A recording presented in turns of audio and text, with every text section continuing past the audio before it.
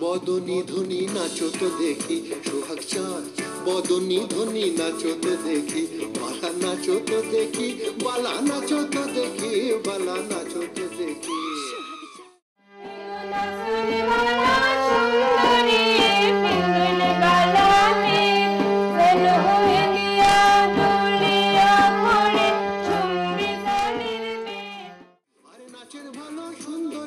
সুন্দরী ভালো চুল, হেলিয়া দুলিয়া পড়ে।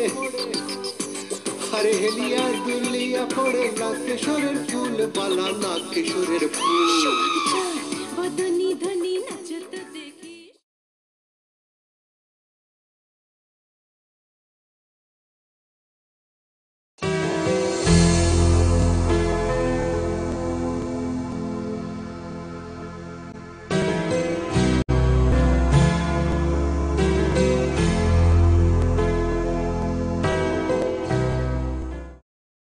বরাক উপত্যকার লোকসঙ্গীত বললে এখন নানা ধরনের কথা বলতে হয়। প্রথমত, বরাক উপত্যকা নানা ভাষা, নানা জাতিগোষ্ঠীর বাস।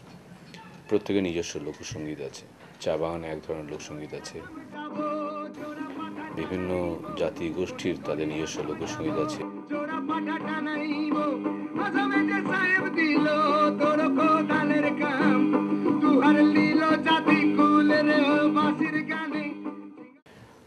এর মধ্যে এখন তার নানা ধরনের গান আছে, জারি শাড়ি মুর্শিদি, মারিফতি নানা রসে নানা ধরনের শ্রমসঙ্গীত আছে, বিভিন্ন ধরনের বিচ্ছেদি গান আছে, তারপরে ধামাইলের, তারপরে আমাদের নানা ধরনের হোলির গান আছে তারপরে বিভিন্ন ধরনের এই যে কন্যা বিদায়ের গান, বিয়ের নানা অনুষ্ঠানের গান, বিয়ের গান যে বলে, বিয়ের গীত বলে প্রায় আমাদের দৈনন্দিন জীবনের জীবনের প্রায় প্রতিটা অঙ্গ জুড়েই লোকসঙ্গীত জড়িয়ে আছে।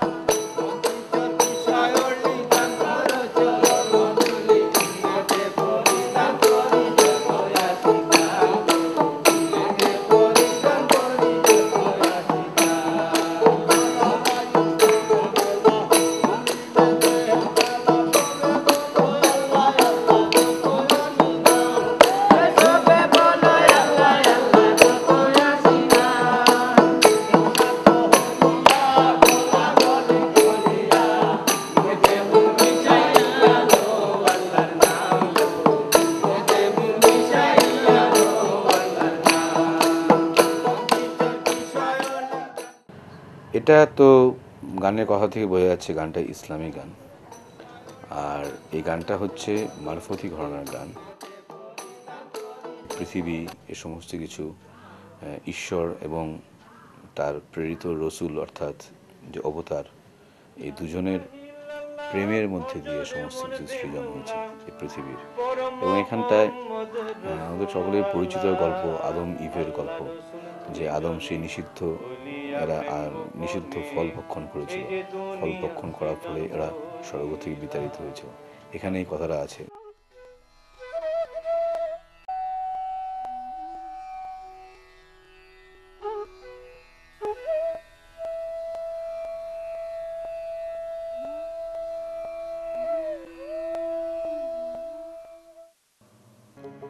Another persistent genre of Barak folk is the Vatiali form, which voices the emotions of the fisherman class of the valley when they go out sailing.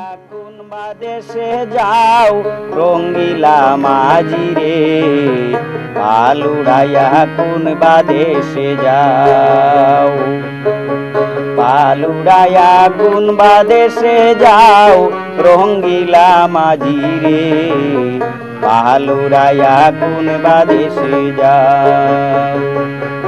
আমার বন্ধু আরে দেখা পাইলে রে মাঝি।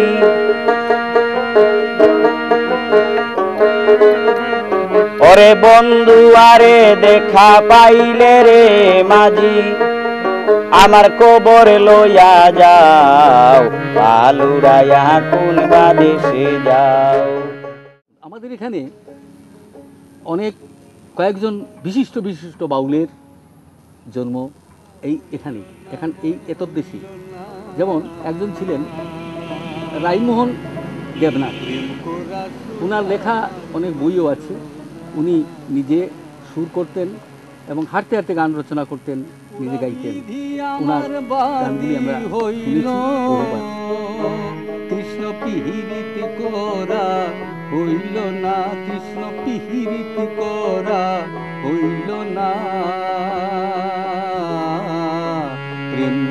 আমার হইল না।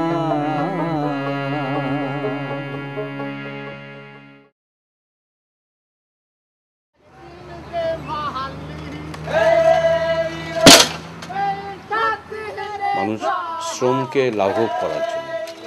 একটা সবাই মিলে একটা কাজ করছে, সেই কাজের যে, শ্রমের যে কষ্ট, সেটা লাঘব করার জন্য। কাজ করার সময় সমবেতভাবে অনেকে গান করে।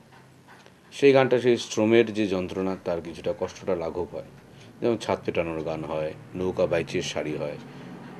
এক ছন্দে যে কাজগুলো করতে হয়, নৌ ছাদ পেটানোর সময় এক ছন্দে এই তাদের যন্ত্রগুলো পড়তে হয় বা নৌকা বাইচের সময় এক ছন্দে দাঁড়টা টানতে হয়। সুতরাং এই এক ছন্দে করা এবং এই পরিশ্রমের কাজের যে শ্রমটা, তাকে কিছুটা লাঘব করার জন্যে এগুলোকে মূলত লোকসঙ্গীতের শ্রম সংগীত বলে।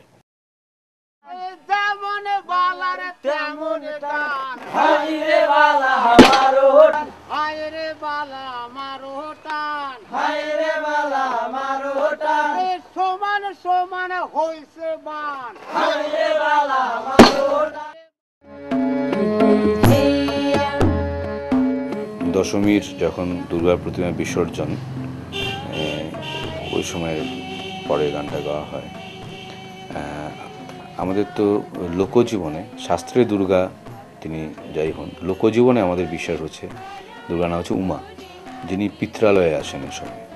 শ্বশুরবাড়ি থেকে বাপের বাড়িতে আসেন। বিসর্জনের সময় আবার তিনি শ্বশুরবাড়িতে ফিরে যান।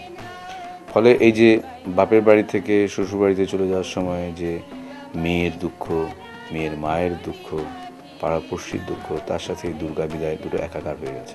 এবং আমাদের এই দুর্গার বিসর্জনের যে গান, লোকসঙ্গীত এবং আমাদের বিয়ের পর যে কন্যা বিদায়ের যে গান, দুটো কিন্তু একই গান। অর্থাৎ আমরাও কিন্তু দুর্গার চলে যাওয়াকে কোথাও একটা মেয়ের চলে যাওয়া হিসেবেই দেখি।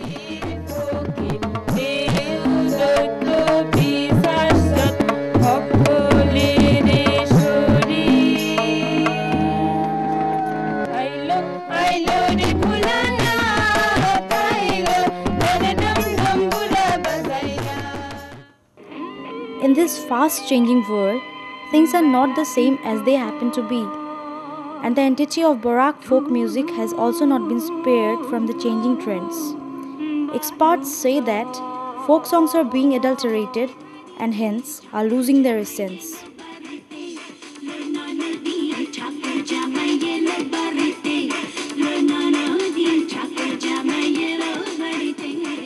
সেই যে লোকগীতি আজকে আমরা শুনি পাশ্চাত্য কিছু অনুকরণ ঢুকিয়েও দিয়েছে এই সঙ্গীতের মধ্যে। এটা কিন্তু আমাদের মনে হয় এটা ঠিক নয়।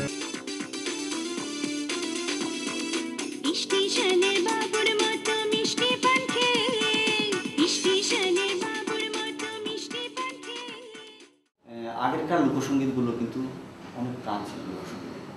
বর্তমানে যেমন কথা প্রধান কথার সঙ্গে মিউজিক প্রধান হয়ে গেছে। আপনি বর্তমানে লোকসঙ্গীত মিউজিক ছাড়া গান করেন কেউ শুনবে না। কথা, অর্ধেক অর্ধেক মিউজিক, অর্ধেক সাউন্ড সিস্টেম আগের লোকসঙ্গীত কোনো সাউন্ড সিস্টেমের উপরে বেচ ছিল না মিউজিকের উপরে কোনো বেচ ছিল আমি এখন বর্তমানে প্রতিটা মঞ্চে সিনথেসিসের বাজিয়ে গান করছি। শ্রোতাদের, শ্রোতারা কিন্তু কেউ যায় না যে গান শুনে একটু কাঁদবো। কাঁদতে কেউ গান গান শুনতে যায় মনে আনন্দ দেওয়ার জন্য, আনন্দ নেওয়ার জন্য। তো আনন্দের জন্য সেই যন্ত্র ব্যবহার করছি। তবে আমি আধুনিক কাপড়াগুলো ব্যবহার করছি না সেই লুকো কাপড়াগুলো ব্যবহার করছি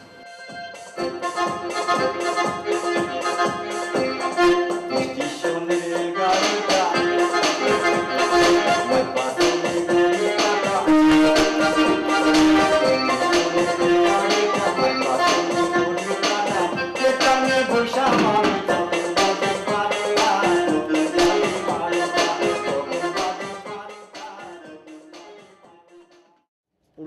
গানটারই নতুন করে গাইছে।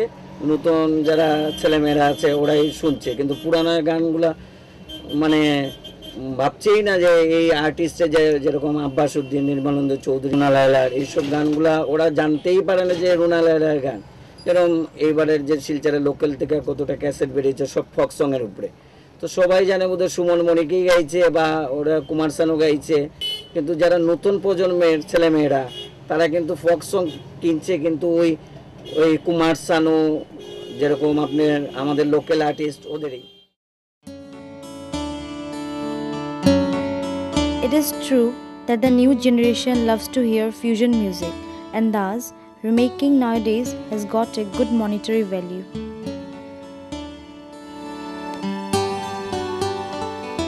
আচ্ছা, এবার পুজোর অ্যালবাম যে কটা দাগ সেটাতে আমি মোট আটটা গান রেখেছি এবং সেখানে চারটা পুরনো প্রাচীন লোকসঙ্গীত যেগুলোকে আমি আবার নতুনভাবে রিক্রিয়েশন করে করেছি আর কি। যের মধ্যে আছে ময়না ছলক ছলক, সেটা হচ্ছে ঝুমুর গান, শিব নাচে রে সেটা হচ্ছে গাজন সংগীত ভবে দিন তলামা একটা ভক্তিমূলক গান এবং নয় দরজা করিয়া বন্ধ, সেটা হচ্ছে দেহতত্ত্ব গান। সেগুলো গানকে আমি নিয়ে কিছু নতুন যন্ত্রসঙ্গীত দিয়ে যন্ত্রসঙ্গীত দিয়ে এটাকে নতুন করে- নিশীথে যাইও ফুল বনে। নয় দরজা করিয়া বন্ধ লহিও ফুলের গন্ধ।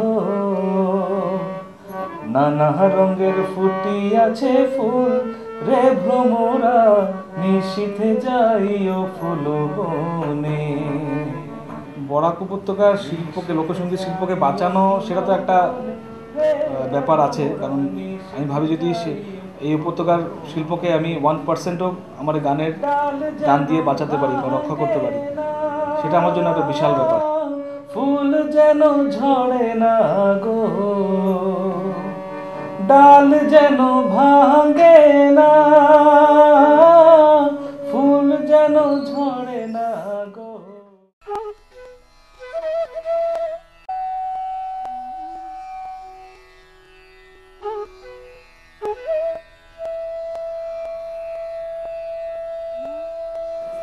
সাংস্কৃতিক ধারার যেরকম পরিবর্তন ঘটে লোকসঙ্গীতের মধ্যে সেই ধরনের পরিবর্তন ঘটবে।